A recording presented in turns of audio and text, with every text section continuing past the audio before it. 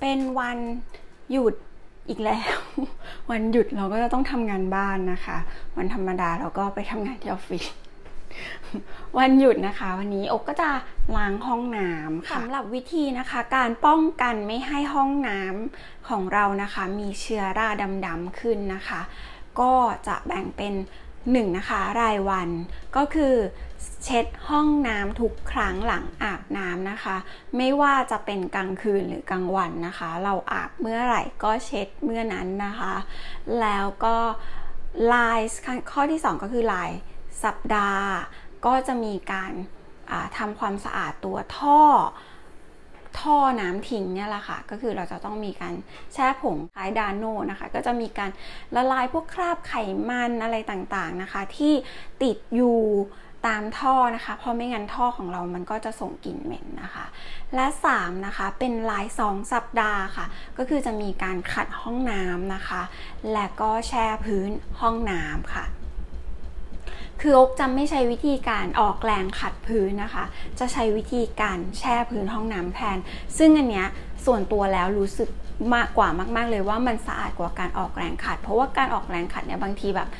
มันไม่ได้ครบทุกซี่คือห้องน้ำของเรามันจะเป็นเรียกอะไรมันจะมีร่องตามพื้นนะคะ เพื่อกันลื่นกันอะไรที่เขาออกแบบมา ซึ่งการออกแรงขัดเนี่ยมันไม่สามารถแบบที่จะขัดได้ครบทุกซี่อยู่แล้ว และสุดท้ายก็คือราย 2 เดือน 2 เดือนนะคะ เราจะใช้ตัวนี้นะคะในการ ที่จะลมควันห้องน้ำนะคะ คืออันเนี้ยตั้งแต่ย้ายมาก็คือบ้านเราเป็นบ้านใหม่นะคะ ก็คือสร้างเองเลือกเองทุกอย่างนะคะ ก็คือตั้งแต่ย้ายมาเนี่ยก็ใช้อันเนี้ยมาตลอดนะคะ 3 ปีแล้วคือ 2 เดือนหนึ่งครั้ง จนถึงปัจจุบันนี้ก็คือห้องน้ำยังไม่มีเชื้อราดำๆนะคะ ขึ้นห้องน้ำเลย แต่อย่างที่บอกก็คือว่ามันอาจจะมีผลหลาย ๆ อย่างรวมกันก็คือทั้งขัด ทั้งเช็ดห้องน้ำทุกวันอะไรอย่างเงี้ยค่ะ เช็ดพื้นทำอะไรมันก็เป็นส่วนหนึ่งในการป้องกันเชื้อรา แต่ส่วนตัวเราคือรู้สึกว่ามันได้ผลนะ อาจจะมีหลายอย่างประกอบแหละแต่ว่าเอออันนี้มันมันก็น่าจะช่วยได้เยอะ เพราะว่าเขาบอกว่าเชื้อราในห้องน้ำนะคะ มันจะเกิดจากด้านบนเพดานนะคะ คือเหมือนแบบรากของเชื้อรานะคะ มันก็จะงอกลงมาแล้วก็ เหมือนกับปล่อยไอระเหยอะไรทำให้ห้องน้ำในจุดต่างๆนะคะ มีเชื้อรา ซึ่งแน่นอนเราไม่สามารถแม้ว่าอกจะเช็ดห้องน้ำทุกวันนะคะ มันอกก็ไม่ได้ไปเช็ดถึงเพดานเนาะ ซึ่งตัวเนี้ยพอมันลมควันนะคะ ควันมันก็จะกระจายขึ้นไปฟุ้งขึ้นไปบนเพดานนะคะ ซึ่งก็เป็นเขาบอกว่าสามารถกำจัดราก เชื้อราได้ถึงต้นตอของมันเหมือนถอนรากถอนโคนเลยนะคะ เดี๋ยวมาดูกันค่ะวันนี้อกก็จะทั้งล้างห้องน้ำแช่พื้นห้องน้ำแล้วก็ล้างท่อรวมถึงใช้ตัวนี้ลมควันเลยค่ะ ไปดูกันค่ะ อันนี้นะคะเบื้องต้นเราก็จะขัดห้องน้ำก่อนนะคะตัวนี้เขาบอกว่ามันสเตย์ฟรีนะคะ ไม่มีกลิ่นแต่ว่ามันสามารถขจัดคราบ พวกคราบสบู่คราบน้ำอะไรได้ค่ะ จะลองใช้ตัวนี้ก่อน แล้วก็ทุกครั้งนะคะขัดห้องน้ำนะคะ ก็อย่าลืมที่จะใช้ถุงมือนะคะ ถุงมือใช้ด้วยนะไม่ว่าน้ำยามันจะแรงน้ำยามันจะไม่แรงไงแต่ก็ควรที่จะต้องใช้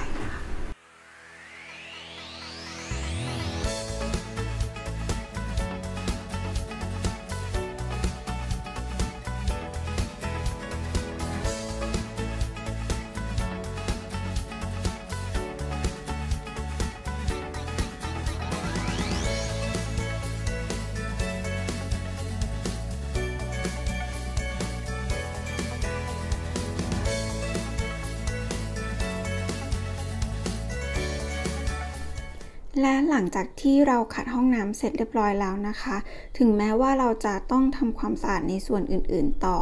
แต่ว่าตรงบริเวณนี้นะคะ มันก็จะไม่โดนน้ำแล้ว ก็จะเช็ดให้แห้งค่ะ เพื่อที่ไม่ให้มันเกิดคราบน้ำค่ะ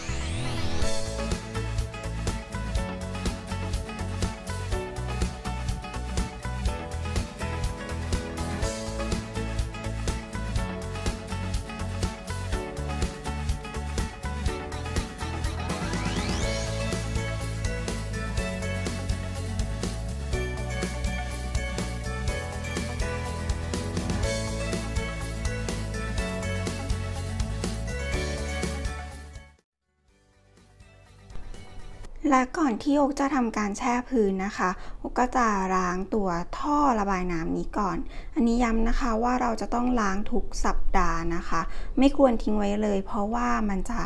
มีคราบไขมันนะคะ ติดค้างอยู่แล้วก็ส่งกลิ่นเหม็นค่ะ แล้วก็อันนี้นะคะแนะนำให้ใช้เป็นตัวเน็ตกรองผมค่ะ ถึงแม้ว่าเขาจะมีถาดอันนี้มาให้นะคะ แต่มันไม่สามารถกรองได้โดยเฉพาะผมของผู้ชายนะคะ ไม่สามารถกรองได้เลยนะคะ ก็ควรที่จะใช้ตะข่ายมากรองไว้เพื่อป้องกันไม่ให้ท่อของเราตันค่ะ วิธีการถอดส่วนประกอบของท่อระบายน้ำขึ้นมาทำความสะอาดก็แต่ละรุ่นจะแตกต่างกันออกไปนะคะ พอถอดขึ้นมาแล้วเราก็จะเห็นว่าจะมีคราบนะคะคราบไขมันคราบสบู่ติดอยู่นะคะ ตามซอกตามบริเวณนี้โดยเฉพาะตรงนี้นะคะ จะมีติดเต็มไปหมดเลยค่ะ สำหรับวิธีการทำความสะอาดท่อนะคะ ก็จะมีน้ำยานะคะ ที่เขาเขียนไว้ว่า สามารถละลายไขมันนะคะ ขจัดเส้นผมที่อุดตันตามท่อนะคะ ซึ่งก็จะมีอยู่หลายแบบในการอกจะใช้อยู่ประมาณ 3 แบบแต่อีกแบบหนึ่งมันหาซื้อยากค่ะก็จะใช้ตัวขวดสีเหลืองนี้นะคะ เป็นหลักเป็นน้ำนะคะ ส่วนตัวในกล่องนี้นะคะ ก็จะเป็นผงฟูคือพอเราเทลงไปแล้วราดน้ำนะคะ มันก็จะเป็นฟองฟูขึ้นมา แต่ว่ามันชอบเข้าจมูกและเข้าปากค่ะ ค่อนข้างอันตรายเหมือนกัน แต่ว่ามันสะอาดมากๆเลยนะคะ แต่ว่าก็จะใช้ตัวขวดสีเหลืองมากกว่า เพราะว่ามันถูกกว่าตัวแบบกล่องค่ะ แล้วก็เทน้ำยาลงไปนะคะ อันนี้ก็คืออยากจะกำจัด ในส่วนซอกต่างๆ อกก็จะเทลงไปในซอกด้วย แต่จริงๆแล้วนะคะ ควรจะใช้ฝาตวงนะคะ ซึ่งเขาก็จะเขียนระบุไว้ข้างหลังนะคะ ว่าถ้าเกิดว่าท่อตันให้ใช้ประมาณ 4-5 ฝา ถ้าขจัดคราบไขมันคราบลื่นนะคะ ให้ใช้ที่ประมาณ 3-4 ฝานะคะ ส่วนถ้าจะแค่กระจัดขจัดกลิ่นนะคะ ก็จะใช้อยู่ที่ 1-2 ฝาค่ะ และหลังจากนั้นก็ทิ้งไว้ประมาณ 15-30 นาทีค่ะ และนี่นะคะหลังจากที่ผ่านไป 30 นาทีนะคะ หรือ 30 นาทีขึ้นไปนะคะ ก็จะมาาใช้น้ำนะคะล้างท่อ ที่เราเทน้ำยาเอาไว้นะคะ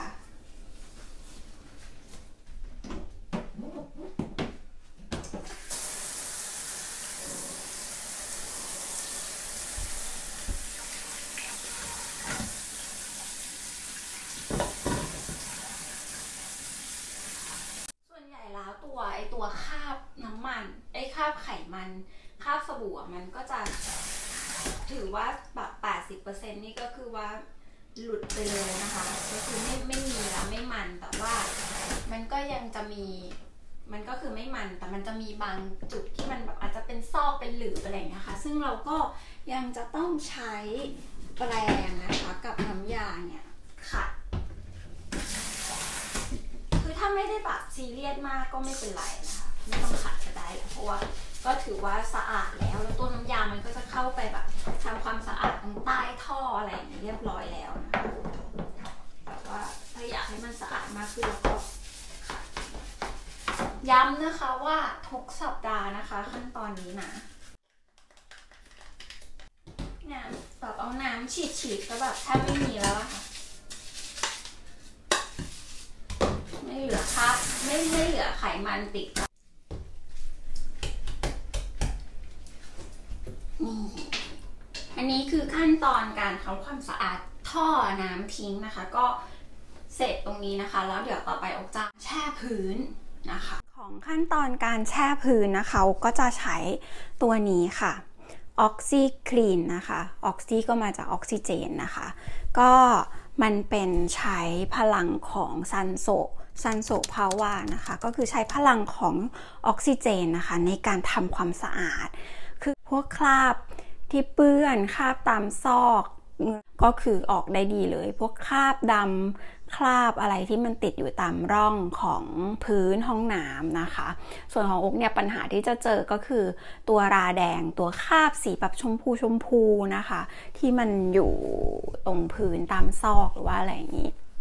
ก็คือจะใช้ตัวนี้นะคะ เพิ่มเติมนี้ก็คือว่าตัวนี้เนี่ยเขา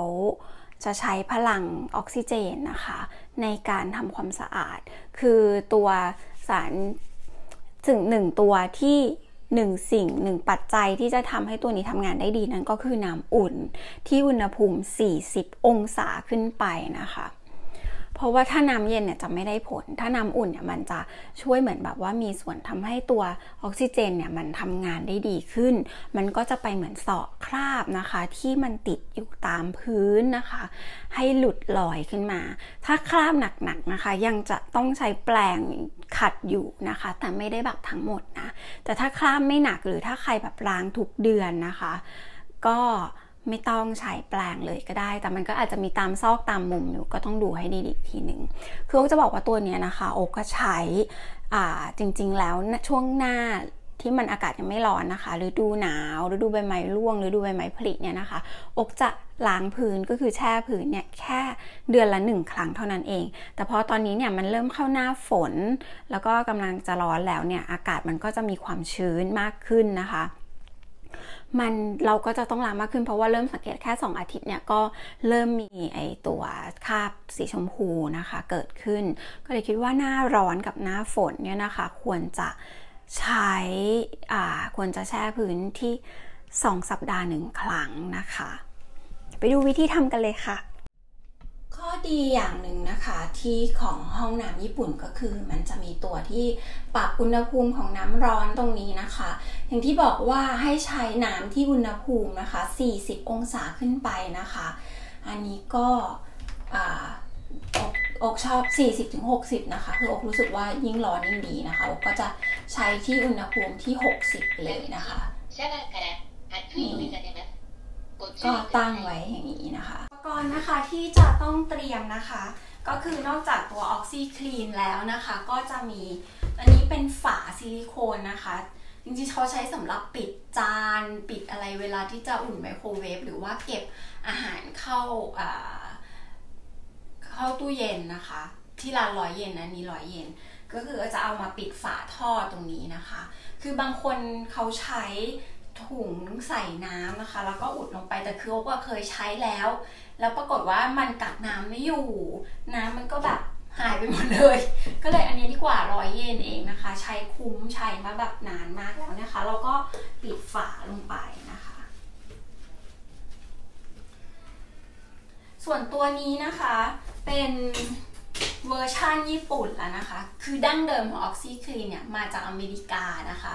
คือถ้าเป็นสูตรดั้งเดิมเขาเนี่ยก็จะใช้ที่หนึ่งช้อน นะคะ แต่อันนี้เป็นสูตรญี่ปุ่นเขาเขียนว่าให้ใช้ที่สองถึงสามช้อนเลยนะคะ แล้วก็อย่าลืมใส่ถุงมือนะคะ ห้ามโดนมือโดยตรงช้อนมันเล็กไงอ๋อรู้แล้วเพราะว่าช้อนเมกามันใหญ่มากคืออันนี้จะขออนุญาตปีนขึ้นเก้าอี้นิดนึงเพราะว่าไม่อยากให้มันโดนตัว ดูลำบากไปไหมแล้วก็วิธีนะคะก็คือนอกจากอ่า จริงๆเราเราลงไปก่อนก็ได้เนาะก็คือเราสามารถคือบางคนก็จะใช้การโรยไปเลยนะคะ แต่ว่ามันจะไม่ทั่วถึงเดี๋ยวก่อนก่อนหน้านั้นเนี่ยก็คือให้ฉีดน้ำอุ่นนะคะ ให้ทั่วก่อนเพื่อที่ให้พื้นนะคะ มันอุ่น ถ้าพื้นมันยังเย็นอยู่มันก็จะทำปฏิกิริยาได้ไม่ดีเท่าไหร่นะคะ แต่เมื่อกี้เราเพิ่งล้างห้องน้ำไปแล้วล่ะ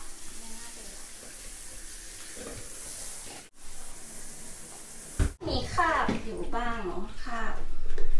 สบู่อะไร มันก็จะเหลืองเหลืองดำๆค่ะ แล้วเราก็เทอย่าโรยคือ เพื่อให้มันละลายตัวได้แบบว่าทั่วถึงนะคะ ก็ใส่ไว้ในที่เดียวดีกว่าให้เราเห็น ใช้แบบสามช้อนนะคะเขาเขียนว่าสามถึงสี่อะสามก็พอมั้งสามละค่ะสามถึงสี่เนาะแล้วแต่ กลัวไม่กลัวกลัวไม่ อะสี่เลยก็ได้ ชัวชัวไม่ต้องหลังบ่อย ขออนุญาตขึ้นเก้าอี้นะคะ แล้วเราก็ฉีดน้ำให้มันแตกตัวนะคะเดี๋ยวก่อนจะบอกว่าไอเนี่ย พวกแปรงทำความสะอาดอะไรเราเอามาแช่ได้หมดเลยนะ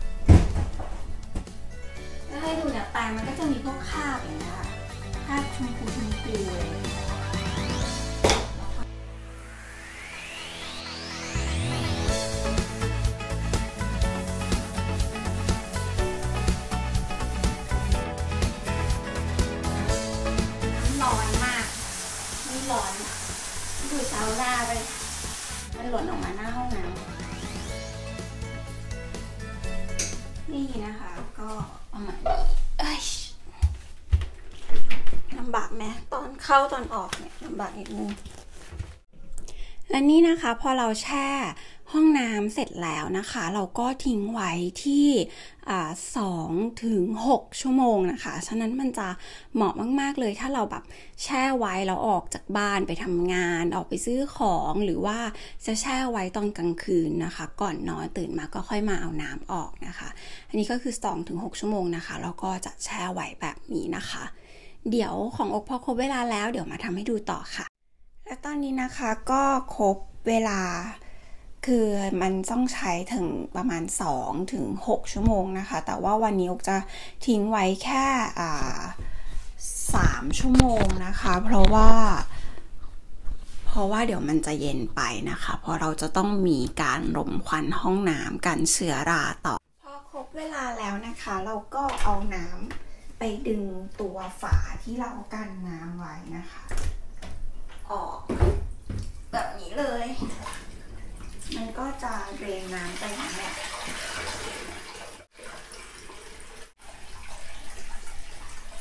จากนั้นเราก็าฉีดน้ำนะคะ ล้างพื้นล้างตัว น้ำยาที่มันอาจจะเหลือเหลือค้างๆอยู่ แล้วก็ถ้าหากว่ามีจุดตรงไหนที่เรารู้สึกว่าเออคราบมันไม่ออกนะ เราก็ใช้แปรงขัดนะคะ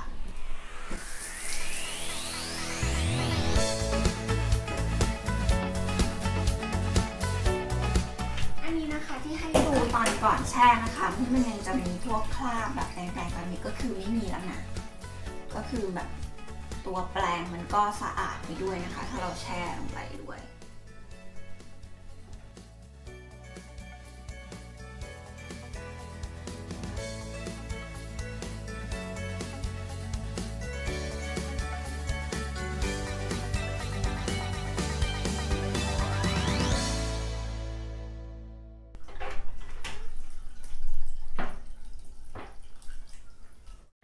นะคะเดี๋ยวจะให้ดูพื้นนะคะ หลังจากที่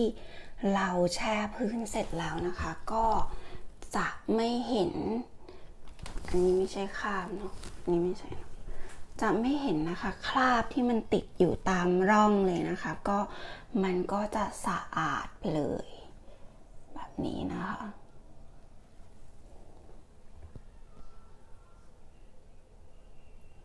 อันนี้ไม่ได้ขัดนะคะ แต่ว่า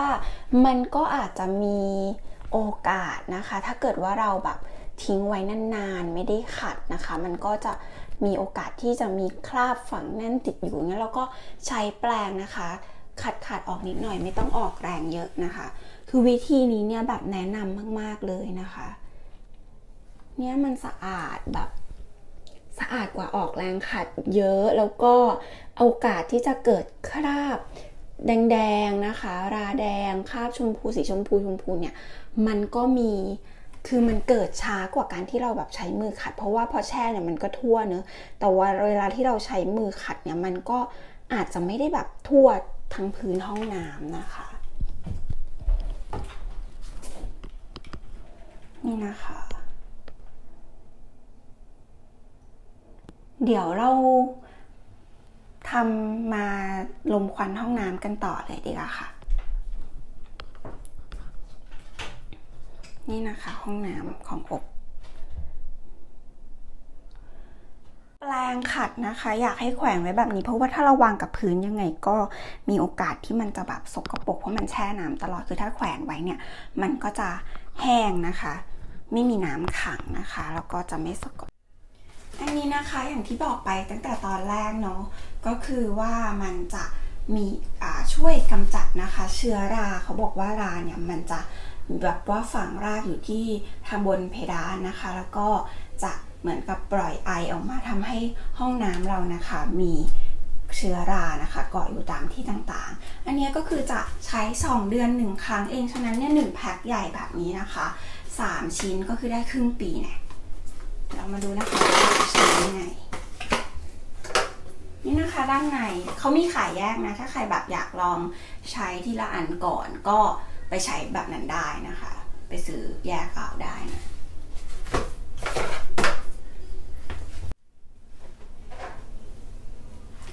สำหรับการลมควันนี้นะคะสำหรับการลมควันนี้นะคะ มันไม่เขาบอกมันไม่เป็นอันตรายนะคะ แปรงสีฟันของเล่นเด็กอะไรนะคะ ที่ใช้ในห้องน้ำนะคะ สามารถ เอามาลมควันได้เลย ฉะนั้นนกก็จะเอาพวกขวดสบู่ขวดแชมพูอะไรอย่างนี้นะคะ มาวางไว้ พวกผ้าขัดตัวนะคะ ก็ไว้ในห้องน้ำได้ตามปกติเลยค่ะ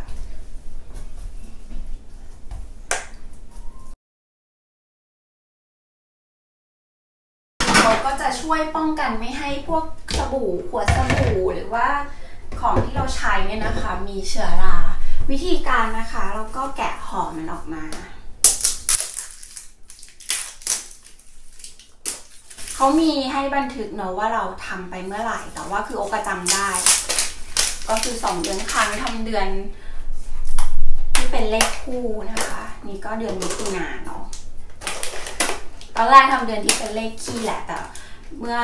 กุมภากลับไทยไปแล้วจะกลับตั้งใจจะกลับมามีนาแล้วกลับไม่ได้ เพราะว่าแบบไฟเลื่อนนะคะ ก็เลยกลับมาตอนเมษาก็เลยมาเปลี่ยนเป็นเดือนเลขคู่นะคะ เราก็แกะมันออกมาแบบนี้นะคะ นี่นะ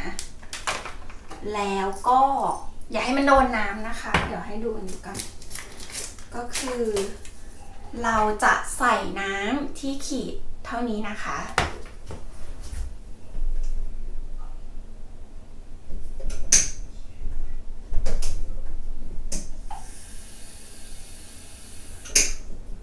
อย่าให้เกินขีดนะคะ แล้วเราก็ใส่ไอตัวนี้ลงไป เดี๋ยวต้องรีบออกจากห้องน้ำละเดี๋ยวนะนี่นะคะ เราก็ ปิดห้องน้ำให้หมด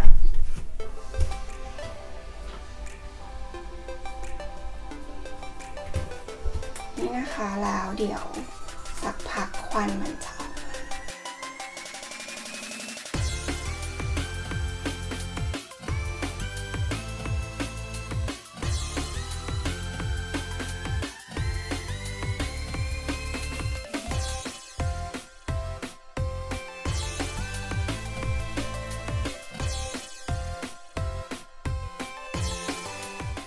นะคะ ตอนนี้ก็คือควันนะคะ ก็มาทั่วห้องน้ำแล้ว นี่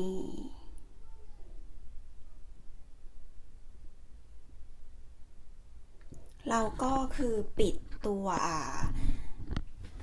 ปิดอะไรนะคะ ตัวระบายอากาศด้วยนะ อย่าลืมนะ แล้วก็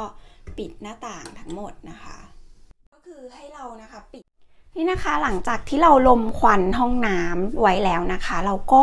ให้เราทิ้งไว้นะคะ 90 นาทีหรือ 1 ชั่วโมงครึ่งนะคะ แล้วหลังจากนั้นเราก็มา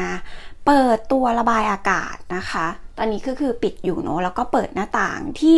30 นาทีขึ้นไปนะคะ เพียงเท่านี้นะคะ ห้องน้ำของเราก็จะปลอดจากเชื้อราค่ะ อันนี้คือแบบว่าถ้าทำวิธี ตามวิธีวิธีอกบอกนะคะ รับรองได้แน่ ๆ เลยว่าห้องน้ำของเรานะคะ จะปลอดจากเชื้อรา เพราะว่านี้อกเรามาก็คือ 3 ปีแล้วนะคะ ห้องน้ำยังไม่มีเชื้อราเกิดขึ้นเลยนะคะ แต่สำหรับใครที่ห้องน้ำนะคะ มีเชื้อราเกิดขึ้นแล้วนะคะ ก็คือให้แนะนำใช้ตัวพวกกำจัดเชื้อรานะคะ พวก คาบิคิล่าอะไรอย่างนี้นะคะ ที่มันเป็นกระปุกแดงๆเนาะไปหาซื้อก็คือเรากำจัดเชื้อราออกเท่าที่เรากำจัดได้นะคะ และหลังจากนั้นก็ให้ใช้วิธีนี้นะคะ อย่าลืมที่จะเช็ดห้องน้ำทุกครั้งนะคะ หลังจากที่ใช้ห้องน้ำนะคะอาบน้ำแล้วก็เปิดตัวระบายอากาศ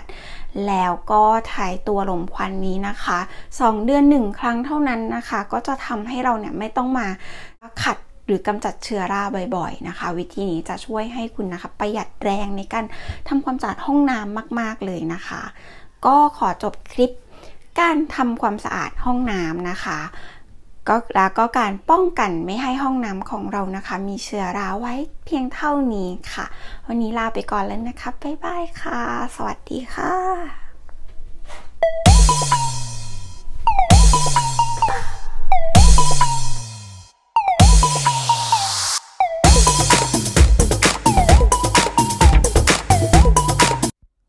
เพื่อนๆทุกคนที่ติดตามมาจนจบคลิปนะคะ ฝากกดไลค์ กด Subscribe กดกระดิ่งติดตามเป็นกำลังใจให้อกด้วยค่ะ